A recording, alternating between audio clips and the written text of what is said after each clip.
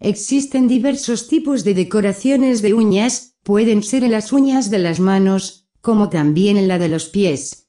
Ha sido tanto la evolución de los decorados que ya hasta dibujos animados se pueden hacer.